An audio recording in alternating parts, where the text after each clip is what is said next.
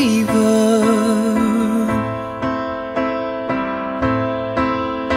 A cold sweat, high headed believer. I threw my hands in the air, said it's only something. She said that if you dare, come a little closer.